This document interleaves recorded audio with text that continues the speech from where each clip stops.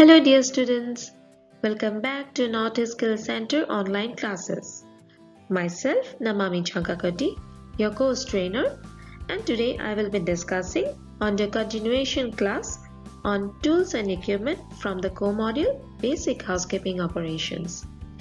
As you all know, in my last class I have discussed three basic manual equipment which are used in housekeeping.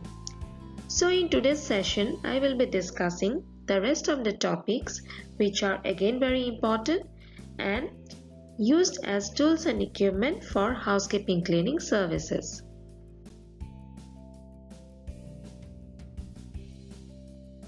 Before starting today's session, let's do some recap and recall the topics that have been already covered. They are brushes used in housekeeping, basic parts of a brush, types of brush. Then we have discussed about the brooms and its various types. Thirdly, we have discussed about the box sweeper. And finally, we have discussed about the care and cleaning of brushes, brooms and box sweeper. Now let's start with today's lesson. After completing this lesson, you all should be able to Number 1. Identify some of the commonly used manual equipment that can be found in the hotels. Number 2. Describe the purpose of this equipment and how and when they can be used. And number 3. Explain how and why this equipment and tools are to be maintained. So the first manual equipment that to be discussed in today's session is dry mops, also called dust control mops. A dry mop or dust mop is designed to pick up dry, loose contamination such as dust, soil, and sand from the surface of the floor.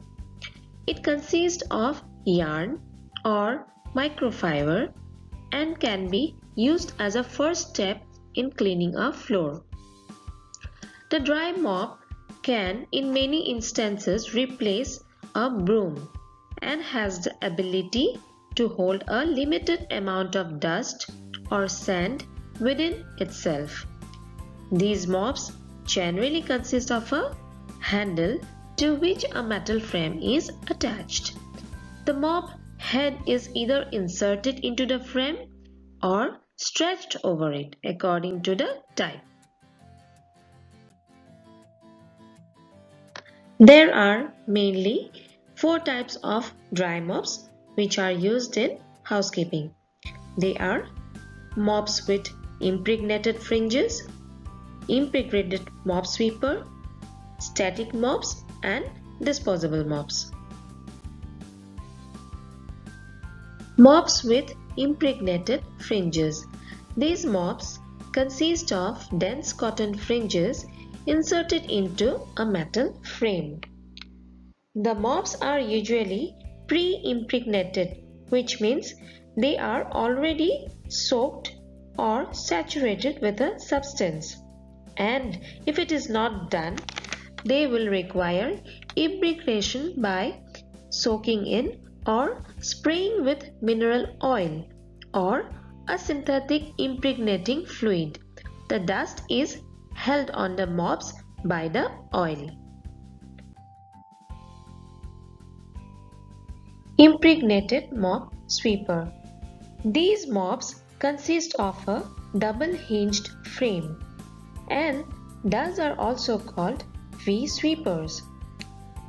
These mops can be pre-impregnated or may require impregnation before each use. Following impregnation, sufficient time must be allowed for the mineral oil to cure the fibers else the mop will leave a film of oil on the cleaned surface due to improper curing. It should be worked in long even strokes in a continual movement keeping the mop head in contact with the surface all the time. This way maximum dust collection and minimum dust dissipation is ensured. Dissipation means disappearance. Next is static mop. These mop consist of acrylic, nylon or polyester strands fixed to a backing stretched over a metal frame. Acrylic fibers are electrostatically charged to attract dust.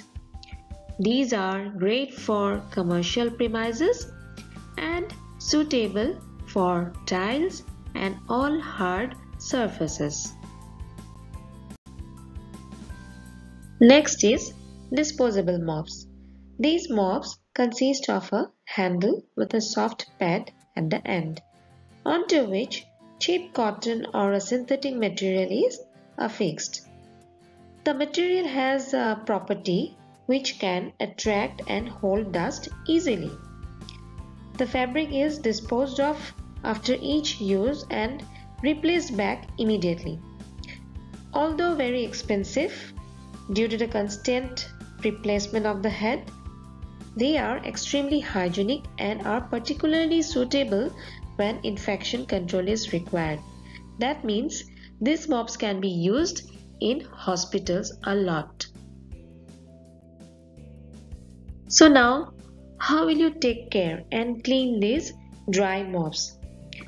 These mops should be shaken well after use in outdoors. The mop heads should be easily detachable so that they can be frequently washed in hot water with detergent. The clean mop should then be tightly squeezed out, shaken well to get rid of excess moisture and let to dry in open air under sun. Once they are dry, these mops need to be re-impregnated. Next manual equipment to be discussed in today's class is wet mops. A wet mop, also known as a moist mop, is used as in the second step in the cleaning of a surface. The wet mop is swept over the surface to dissolve and absorb fat, mud and dried in liquid contamination. Now let's discuss the types of wet or damp mops which are used in hotels. They are number 1 do-all mops, number 2 Kentucky mops, number 3 sponge mops and number 4 squeegee. Do-all mop these mops consist of cotton strands of twisted cotton to a circular metal plate which in turn is fixed to a stalk. They work well to clean up small messes and to generally mop your floor. Next comes the Kentucky mops. These mops are mostly found in the hotels.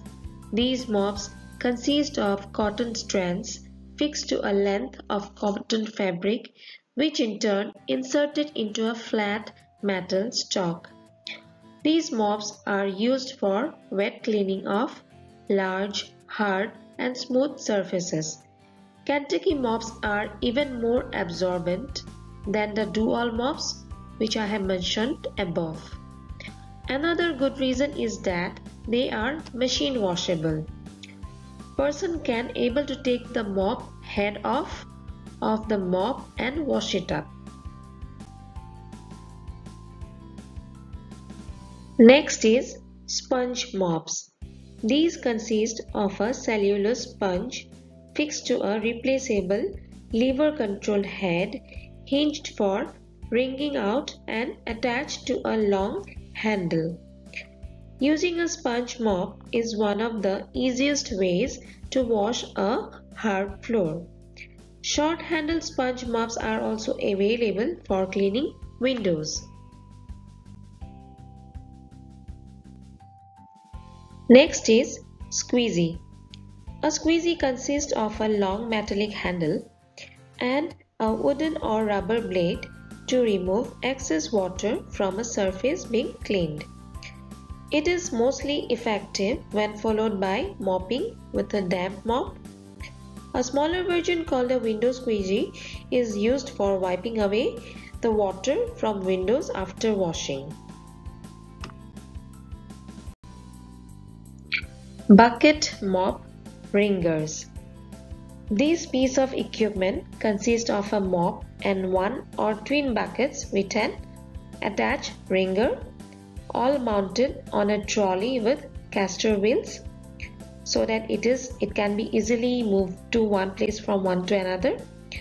It may have a provision for holding cleaning agents as well as a trash bag. Now comes the cleaning and care of wet mops. Mops should be taken outdoors after use and shaken well to remove excess moisture. Then these mops may be washed in the same way as dry mops. Detachable heads are easier to clean and maintain. However, drying is the most important part of mop care as bacteria require moisture to multiply. A disinfectant to discourage their growth is effective only for a short period of time. So leaving them damp means letting more germs breed. They should be stored in such a way that air is allowed to circulate around the mop head. The sponge head should be stored by hanging. So the next topic which I am going to discuss now is about dusting clothes. This is a very uh, commonly found tool which is available everywhere. People use it for cleaning purposes at homes, offices, etc. etc. Various clothes are used extensively in wet and dry cleaning by housekeeping staff. For efficient and correct uses, clothes may be color coded and the staff well trained in their uses. Cleaning the clothes may be of duster, swabs, floor clothes, screen, glass clothes, rags, polishing clothes, wet clothes and chamois leather.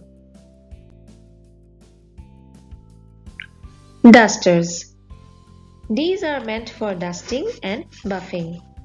Soft absorbent plain or checked cotton material are ideal for dusters. When used for damp dusting, they must be sprayed with a fine mist of water or dusting solution. Dusters must be folded several times into a hand-sized pad before use so as to provide a number of clean surfaces and avoid spreading dirt again to a clean surface instead. Swabs and wipe. These are all-purpose clothes made of soft absorbent material. They are used for wet cleaning and damp dusting of all surfaces above floor level. They are also used for cleaning sanitary fittings such as bathtubs and wash basins. Wipes include loosely woven or knitted cotton clothes and non-woven clothes. Synthetic sponges may also be grouped under this category. They are available in various sizes and shapes. Sponges are better than other clothes for washing walls, glass, woodwork and upholstery. Next comes floor clothes. Floor clothes are bigger, thicker and made of coarser cotton material than all-purpose swabs. They are used to wipe WC pedestals and remove spills from floors. Next is chamois leather. Real chamois leather is the skin of the chamois goat antelope. But now various cheaper imitations are available in the market. These simulated chamois leathers are usually skivers that is split sheepskin Chamois leather can be used wet for cleaning windows and mirrors. When dry, it is used as a polishing cloth for silver and other metals. It is also ideal for wiping squeegee blades. Next is rags. Rags are disposable clothes or discarded clothes which are usually obtained from the sewing room or bought by the sack from tailors. They are used for applying polish or strong cleaning agents and are disposed of when dirty.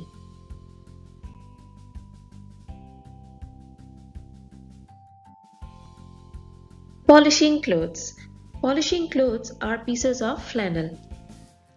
They are mostly used for buffing the surface for shine after being applied by the rag and cleaning agent. Next is dust sheets. Dust sheets are made of any thin cotton material being about the size of a single sheet. Discarded bed sheets or curtains from the linen room are ideal for use as dust sheets. They are used to cover floors, furniture and other articles during spring cleaning or decorating. Next is how will you take care and clean these dusting clothes? Good care of cloth is important for efficient cleaning and longer life. So for dusters, uh, we need to wash, rinse and dry thoroughly after use. If clothes mittens are impregnated with mineral oil after washing, keep them covered or they will attract dust. Then for swabs and wipes, we need to Wash dusters in hot detergent water, rinse and dry thoroughly after use. Those used on WCs should be disinfected after washing. For chamois leather, if not maintained properly, leather gets cracked and is damaged easily. Remove the excess dirt from it with newspaper. Wash only when necessary in plain cold water. Rinse and either store damp or dry flat.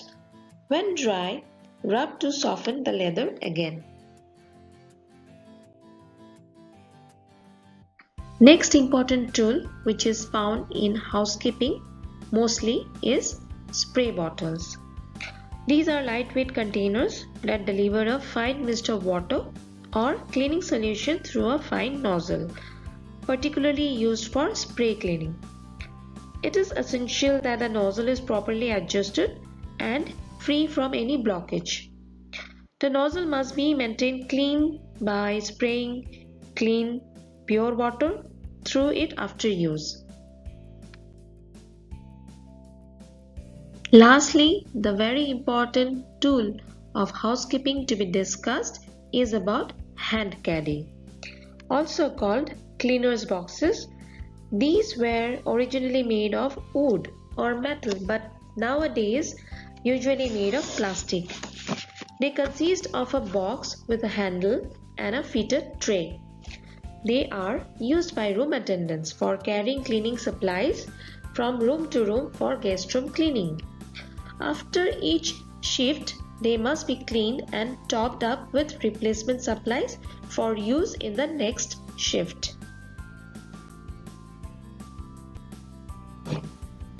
So my dear students, this was from today's session. I hope you will have understood and learned something from my presentation. In case you have any doubts or queries in your mind, you can call me up or you can text me. I will be really happy to help you all out.